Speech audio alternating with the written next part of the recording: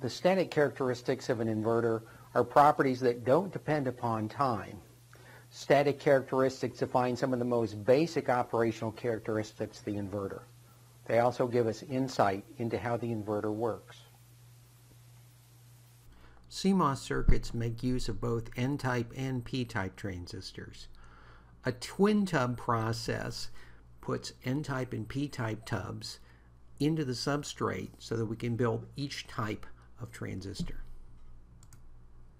A CMOS inverter consists of one N-type transistor, which is known as the pull down, and one P-type transistor, which is known as the pull up. The symbol for an inverter is the triangle with the circle at the tip. The output circle indicates logical inversion. We'll use ranges of voltages to represent logical values. We need to decide what range of voltage corresponds to each logic value. This choice isn't arbitrary. It depends upon the circuit characteristics. We'll use voltages to represent logic values. Of course, our logic values are 0 and 1, whereas we have many different possible voltages. So we'll use ranges of voltages to represent the logical values. We use one range of voltages to represent a logic 0. We'll use a different range of voltages, this one at the opposite end of the power supply range, in order to represent a logic 1. Now we have here a gap in between the logic 0 and the logic 1 ranges. We'll use that to represent an unknown value, which we call the unknown or the x value. Having this buffer zone in between logic 0 and logic 1 is very important because it means that we can clearly distinguish between the two. It means that small amounts of noise won't automatically push us from a logic 0 directly to a logic 1. We can detect that error by identifying an X. If we look at the voltage waveform of the inverter over time, for example, in this case, going from VDD down towards zero, we can identify different times at which the output corresponds to a logic 0, a logic 1, or, of course, a logic X. Now, for a lot of our logic design tasks, we're just going to deal with a simplified timeline we have zeros, ones, and perhaps some x's. We know when those transitions occur, and for many types of analysis, that's all we need to know. There will be, of course, some types of analysis where we need to know the exact waveform, but in many cases, the exact waveform is just too much detail for us to deal with. We're primarily concerned here with the static properties of the inverter.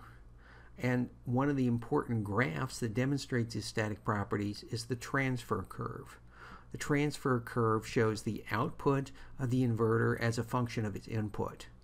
So this assumes that the input value is stable and we've let the output value become stable. There's no time involved here. So we can see that at a low input voltage, we have a high output voltage. At a high input voltage, we have a low output voltage.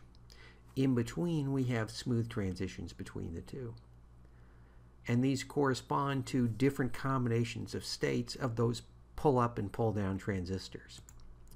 For example, with low input voltages, the p-type transistor is saturated. And once we hit the threshold voltage, the n-type transistor will still be in the linear region.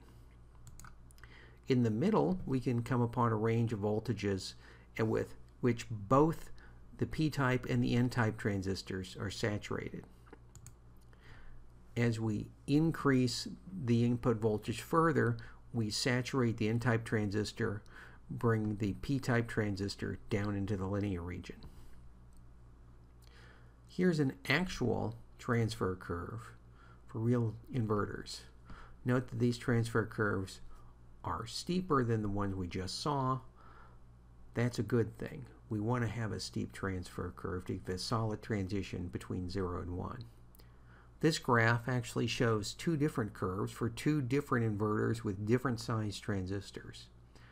The blue curve is for an inverter in which the p-type and n-type transistors are the same size. But remember that p-type transistors have lower transconductance. So when they're the same size, the p-type will put out less current than the n-type transistor. We can correct for that by increasing the width of the p-type transistor. This makes the beta equal. Remember that beta is equal to the transconductance of the minimum size transistor times the W over L of the transistor. When we increase the beta of the p-type transistor to be equal to that of the pull down, we see that the transfer curve moves to the right. So we can adjust the transition zone by adjusting the sizes of the transistors. Let's go back to our sample curve.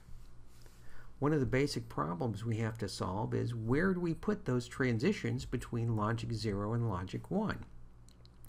We have some flexibility in this, but one reasonable choice is to choose the points at which the slope of the transfer curve is equal to minus 1. There are two of those points. One of them gives us the boundary of the logic high. So any voltage above this value we should count as a logic 1. The second point is at the other end of the transfer curve, and so this gives us the upper bound on the logic 0 range. So now we have two different voltages of interest for both of these points. Let's concentrate on the case in which the input is high and the output is low. We call that input voltage at this transition point VIH, or V input high. The output voltage it produces is VOL for V output low. Similarly, at the other end of the transfer curve, we have VIL for the input low voltage and VOH for the output high voltage. Noise margins tell us about the immunity of the inverter to disturbances at its input. These input and output voltage levels are particularly important for making sure that two gates can talk to each other. In the case of low voltages, we want the output low voltage of the first inverter to be lower than the input low voltage of the second inverter that guarantees that anytime the first inverter thinks that it's putting out a logic 0, the second inverter will read that value as a logic 0. Similarly, we want the output high voltage for the first inverter to be greater than the input high voltage of the second inverter. That guarantees that the second inverter will read any voltage that the first inverter thinks is a logic 1 as a logic 1. One good way to analyze the static characteristics of the inverter is using the middle voltage. That's the voltage right at the middle of the transfer curve. So our first step in analyzing the middle voltage is to recognize that the two transistor gates are connected to each other. We also know that the drain currents are equal because the two transistors are connected in series and we know that the sum of the drain to source voltages, the two transistors, add up to the power supply voltage. So now we can substitute in the drain current equations and solve for the middle voltage. You can see that this depends upon the square root of the ratio of the betas of the two transistors. To summarize, the CMOS inverter consists of an N-type pull-down transistor and a p-type pull-up transistor. We use ranges of voltages to represent logic zeros and ones.